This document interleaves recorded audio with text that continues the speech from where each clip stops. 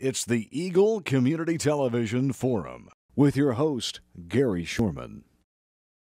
Welcome to the Forum. I'm Mike Kerner in for Gary Shorman this week. The Forum brought to you by HaysMed. And our guest this week, Steve Keil. He's Director of Development at DSNWK. And you know, DSNWK has been around for about 50 years now. We'll get into all of that and talk about your big celebration that's coming up in the second half of the show. But Steve, welcome to the show. I want to talk to you a little bit about DSNWK. And you know, we've heard the name around Hays for a long time, and you serve a lot of people around the area. How many counties do you serve? We serve a total of 18 counties here in northwest Kansas. That's a lot. That so a you lot. guys have to travel a lot. Well, we do. We cover, guys, like 16,000 square miles, and so we serve probably about 500 people in a variety of different uh, settings and locations. So 500 people over those areas. Now, people uh, that are that you serve, um, how do they qualify or how do they get into the program at DSNWK? Well, um, you know, basically they would just need to, if, if they're not already in their services, they would need to call us and talk to our funding manager to kind of see um, how they could qualify. Um, you know, it depends a lot of times on their disability and, and uh, there's waiting lists and things like that. So, you know, they just need to call and, and um, see what they can do. Now, you have different levels of disability that you serve too throughout the area. In fact, uh, you have um, entire homes that they can stay in too. Absolutely. Um, we have group homes. Some are 24 hour, seven day a week um, supervision. Um, so we have some individuals that do need more constant around the clock uh, care. Um, some need help with feeding and, and changing and things like that. And then we have other group homes where, um, you know, they are more independent. And we, of course, we have uh, group, not group homes, we also have um, apartments. And so there's some individuals that live in their own apartment, may have a roommate, some don't have a roommate. Some require, you know, very little supervision at all and very independent. But they come to you and they, they get your services and you help them find services. And what I mean by services, you can help them find um, resources around the area that they might need to help them in life, maybe uh, helping them with finding a job. Absolutely. You know, our employment uh, program, which we call Employment Connections, is uh, a big part of what we do. We have uh, individuals that uh, some are on cleaning crews or lawn crews, but we have some that are individually placed. Um, they may be um, in janitorial, uh, they might be, um, you know, working at Walmart or, or uh, you know, a dishwasher or something like that. And a lot of them, they, you know, they own their, their pay, they have a paycheck just like anybody else. They um, pay their taxes and rent their, have their apartment rent that they have to pay and, and are very independent. So that's some of the things you probably help them with is getting their taxes or guiding them to where they need to go to get their taxes. You probably help some of them with education too, furthering education. Yeah, absolutely. We have um, individuals that uh, get you know further their education in different ways. We've had individuals that actually have purchased their own home, um, and so we help them with like the first-time home buyers, and, and we have some that uh, have you know bought their own house and are very independent. So it's really you're kind of helping these people with disabilities. It's kind of as a guide through life and trying to help them um, with the information they probably need. Where a lot of us need a lot of information a lot of times, but you're there to help them. Absolutely. Well, each individual that we serve, um, they have a core team and uh, have a life plan, and they work uh, on that through their individual service coordinator. And so, in the core team, their core team and their life plan basically is um, a structure that they um, set goals and you know their wants and needs and likes and dislikes and things like that. You know, and so some individuals may want to pursue more education or want to own their own home or um, you know want to you know just uh, you know be more independent in, in some other way. Go to you know want to be find a way to get to church or they want to have a, a brother that they've lost contact with that they'd like to find. Um, and we help them basically you know fulfill some of those dreams they have I'm glad you brought that up because it really goes into detail of all the things you really do for the people that use your services. And your services do run a broad gamut, don't they? They absolutely do. Um, you know, we talked a lot about our residential program uh, with our group homes and apartments and our employment connections. But we also have a college for living program, which is our day program. Um, here in Hays, it's Reed Developmental Center. Um, and that is um, basically set up like a, a college. Um, there are semesters. They enroll in classes. Um, some classes might be um, right there at the center. It might be um, a computer class, or it might be a dance class, or a history class. And then there's some classes that actually take place outside of the four walls of the developmental center. It might be a grocery shopping class that takes place at the grocery store, might be taught by the store manager and kind of helps them to um, oh, learn how to shop and price compare and learn how to use the checkout machine and, and you know, those kinds of things. And so um, the College for Living program is, is, is a great program. And also. you probably come up with new classes all the time because, well, life changes. Absolutely. Maybe how to use a computer, how to use certain websites, how to, how to, to, to like you said, find maybe a relative that you've maybe lost. Exactly. So, yeah, that's kind of neat that you have the, have these people out there that can the, the, team that can help guide them through life. I think we all kind of need that, don't we? Um, I think I do sometimes. well, we've got a lot we want to talk about with DSNWK. How about funding? I know that you guys rely a lot on funding from the state of Kansas. Do you have federal funding that comes your way too? We do. We have uh, we have federal funding, state funding. Um, we get money from the county, county mill levy. Um, we also um, we write a lot of grants. Um, got to get donations and, and uh, things like just from, from the private sector. So I would say the majority of our funding, though, probably comes from the state. So it gets kind of tough when like the state went through their budget crisis here recently. Things get a little tough for you too because you're always you always feel like you're on the chopping block because uh, that's just the way it happens with state funding. Mm-hmm. Well, yeah, um, you know, probably within the last probably these last ten years, we've had a lot of uh, funding challenges. Um, because we've there's either been some reductions or um, we haven't been able to get an increase that we've needed and things like that. And so, you know, like anybody else, then we have to make our own cuts. Um, you know, we used to have a, a developmental center in Colby, and it uh, we had to, it had to close. Um, we had a, but you're still serving the people out there through yes. the Hays office. Yes. Well, then those individuals that uh, that were in Colby are are served in another location, and uh, you know we've had to close a group home or two, and those individuals had to move to other group homes, and and uh, and so capacities end up increasing, and you can only you know, increase your capacity in a group home by so many people. And so that can only, you know, last you so long. You can only do that so many times. And um, so, um, but yeah, we've had to we've had to make some closures and, and things like that. And get creative so, with the grant writing and that too. Absolutely. Or try to try to real dig deeper to find those grants too.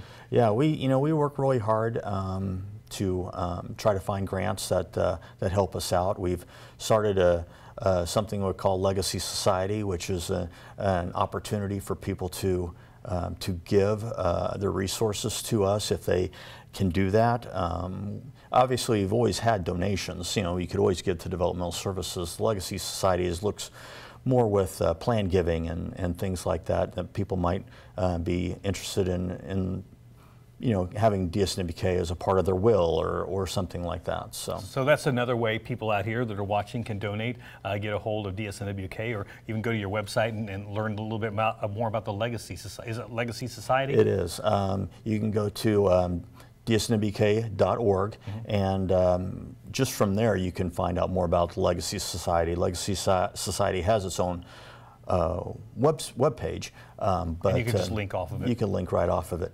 Um, but you know, there's lots of ways that you can give to developmental services. You know, um, um, you know, you can be specific with your donation. You can have it be restricted if you just want it to go to, say, the Consumer Medical Fund, which uh, Consumer Medical Fund helps our individuals pay for things that are not covered by their Medicaid. Um, so there are things like uh, eyeglasses and and uh, pres- some prescriptions and some dental and some things like that are not covered. And uh, that medical fund that we've established um, basically allows them to be able to get some of those things that they need. Um, so you can donate just specifically to the medical fund, um, or you can be specific to uh, one of our group homes or a developmental center or however. If you just give a, an unrestricted donation, we call that a Project Rose donation, and that goes into our general fund and just helps us to operate. So a lot of ways to give and help out DSNWK. Been around for 50 years now, so you guys are doing something right and helping a lot of a lot of people out there in the area. We're going to take a break. We'll be back in the second half of the show. We're going to talk. We're going to talk about a party. You want to do that? Let's do it. We'll talk about a party the second half of the show. Again, our guest today, uh, Director of Development at DSNWK, Steve Keil. I'm Mike Kerner, in for Gary Shorman this week on the forum, brought to you by HaysMed. HaysMed is your first and best choice for healthcare. They're the only facility providing tertiary level services in this region. With more than 70 physicians and 26 specialties ranging from heart, orthopedic, spine care, cancer, obstetrics and gynecology, wound care, rehabilitation, and surgery, including the Da Vinci robotic surgery, HaysMed is your comprehensive health provider for people throughout Western Kansas. HaysMed, helping people be healthy.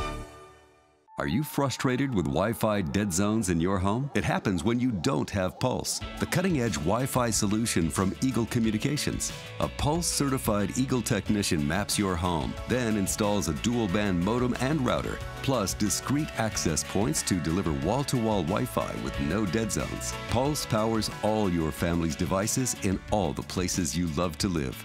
Get Pulse, Wi Fi made simple, only from Eagle Communications. Call today. Hello, I'm Mike Kerner. Welcome back to the forum. In for Gary Shorman this week, and our guest this week is Steve Keil, Director of uh, Development at DSNWK. Dropped for a second there. That's okay. But Steve and I have been talking about 50 years DSNWK has been in the community, and it doesn't seem like 50 years, but well, it's a long time, and you guys have helped a lot of people out in the area, haven't you? We have. Uh, yeah, 50 years, long time. Started in 1967, and we started right here in Hays. Uh, we started at uh, a barracks. There used to be a barracks down at Fort Hays State University that some parents uh, locally here got together and decided we want services for our kids and, and uh, they kind of renovated the barracks down there and started providing services down there. And it grew after the first year or two they were serving 10 or 15 uh, people down there and it just slowly continued to, to grow and grow. And here we are 50 years later, serving 500 people. Did it start out as DSNWK? No, it didn't. It started as Homer B. Reed Adjustment and Training Center. And that um, was how it started in Hays. And then there were some other folks that were getting some services going in other communities in northwest Kansas as well. So in Graham County, uh, started with Kobler Developmental Center, and that started just about a year later in 68. And then in 73, I believe, um, in Rawlins County, um, services uh, began at Prairie Developmental Center um, out by Atwood. So um, in 1976, there was basically a merger of all those services and became Developmental Services of Northwest Kansas, serving 18 counties. So now it's all under one umbrella now. All under one works, umbrella. Work, mm -hmm. And it runs out of Hays. Is that where the, it all runs out of? Yes, our administrative kind offices are here. Mm -hmm. Corporate office. Okay. Yeah. So DSNWK been around a long time. It's evolved quite a bit. Uh, it's probably better that you can serve a lot of people, and it, it's grown so much because you one center now can get all those resources and work on all those grants for for everybody. Absolutely. Yeah, we we've come a long way. We've you know, went from serving just a few people and, and uh, started a lot of programs for a lot of people. So we're pretty proud. You've so. had a lot of people that uh, have graduated from the programs are cut out on their own right now too, I'll bet. oh, you know, we do have, we have a lot of people that are very independent and, and uh, doing very well. Let's talk about the big party because we promoted that in the uh, into the uh, first half. But there's a big party coming. But this is kind of a party that's been around for a little bit, but it's going to be kind of a special one this year because it's the 50th anniversary. Yeah. Well, every year um, we've we had a you know, I call it kind of like a company picnic, I guess, and we called it Fall Fest. And it was basically, it was a chance for all of our individuals from all of our locations to be able to get together in one place and have fun.